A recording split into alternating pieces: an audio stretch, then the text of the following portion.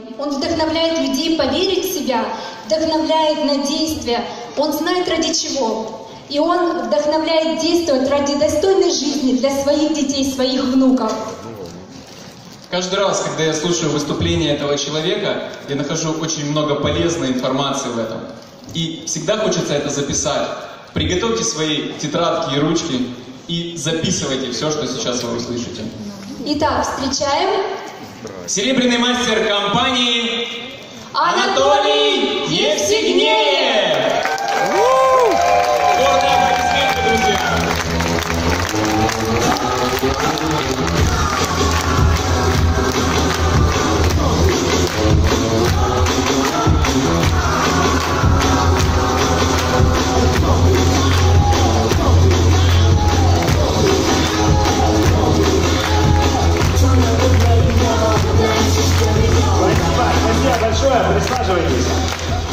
Доброе утро, доброе утро, счастливчики. Позвольте меня так называть. Почему? Потому что если до сих пор еще вы этого не поняли, то, уверяю вас, через два дня, когда вы отсюда уйдете, каждый из вас поймет, что вы счастливый человек, потому что вы находитесь в этом месте и на этом мероприятии.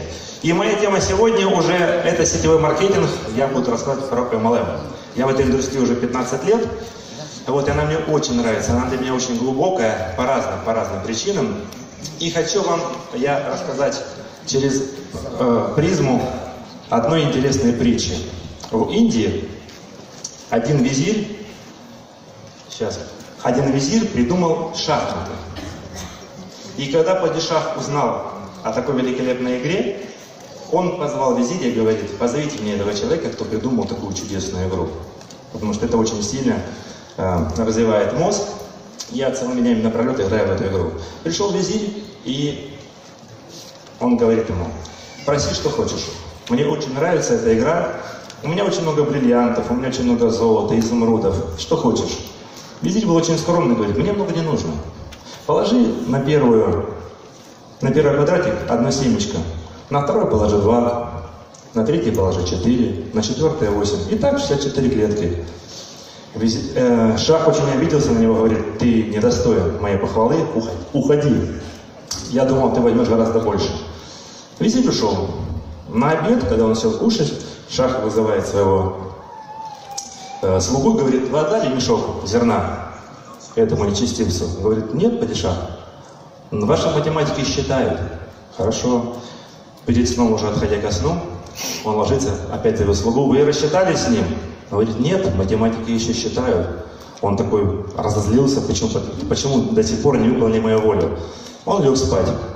Утром, как только открыл глаза, первым делом, что он сделал, он позвал под свою слугу, говорит, вы отдали зерно ему? Он говорит, нет, позовите всех придворных математиков. Они все пришли к нему, стали, говорит, кто здесь самый главный? Говорит, я. Почему вы до сих пор не выполняли мою волю? Он говорит, о, падишах, ты не в силах отдать столько зерна, сколько он попросил. Почему? Потому что твоих амбарах не хватит, чтобы с ним рассчитаться. Мало того, зерен не хватит в твоем государстве, чтобы ему отдать. Мало того, если мы осушим всю землю, все моря и океаны, и посадим хлеб, не хватит, чтобы с ним рассчитаться. Потому что эта сумма будет фантастически большая. Эта сумма будет 18 квинтиллионов, 446 квадриллионов, 744 триллиона, 73 миллиарда, 709 миллионов, 551 тысяча 616 зерен. Вот что такое геометрическая прогрессия. Почему я об этом стал говорить? Потому что основа MLM это геометрическая прогрессия.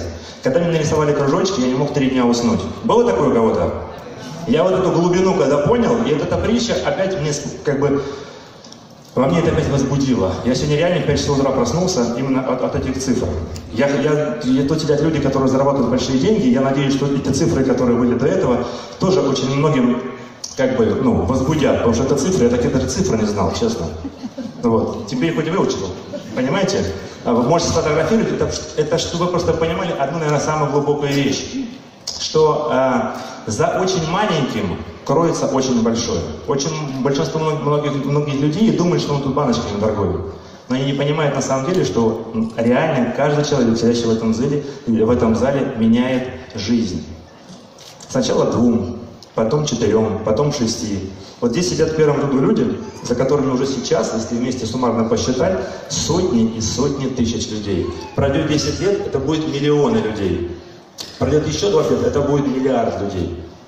На сегодняшний день, только задумайтесь, в Америке каждый второй человек, который проживает в США и в Канаде, является потребителем продукта какой-то сетевой компании.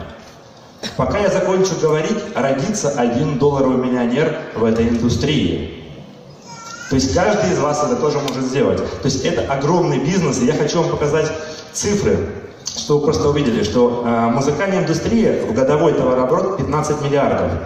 Видеоигры 76 миллиардов, киноиндустрия 88 и сетевой маркетинг 156, практически в два раза. Эта индустрия опережает все индустрии, которые сейчас есть. И за этим будущее. Что же говорят об этом великие люди? Ричард Брэнсон, миллиардер. Наверное, читали все его книги, видели его в Ютьюбе. Вот что он пишет. «Я верю в сетевой маркетинг. Билл Гейтс, второй человек на планете, самый богатый, сказал, если бы я мог начать все сначала, я бы начал с этого маркетинга. Помните, что сказал президент Америки, который сейчас стал президентом, а до этого был бизнесменом? Когда у него спросили, помните? Все помнят? Не все. Давайте расскажу. Однажды он так стоял на сцене, как сейчас я, сидели здесь люди, которые брали у него интервью, и спросили у него, Дональд, если сейчас у вас забрать все ваши миллиарды, чем бы вы занялись? На что он ответил, я бы нашел хорошую компанию, где есть хороший классный продукт, начал бы здесь зарабатывать деньги, заработал бы свои миллионы и опять бы стал строить. И они все стали ржать. А что он сказал? А разница во мнениях равняется разнице в доходах. Вы смеетесь, вы здесь, а я стою на сцене, вы меня слушаете. Это что просто понимали? Можете похлопать, это мы с вами в этой индустрии. Баффет очень богатый человек, очень знаменитый. То же самое говорит. Сетевой маркетинг дает вам проверенную систему успеха, которая позволит вам немедленно начать зарабатывать деньги. Почему немедленно? Потому что здесь можно начать зарабатывать в первый месяц работы. Пол Пилзнер, это советник президентов ни одного, говорит, тысячи и тысячи миллионеров будущего появятся в самой быстро растущей индустрии сетевого маркетинга. Теперь я хочу с вами поговорить про интересную вещь. Все, почему еще раз MLM? На самом деле, если мы с вами будем ходить на работу, то мы не будем получать ту жизнь, о которой мы мечтаем.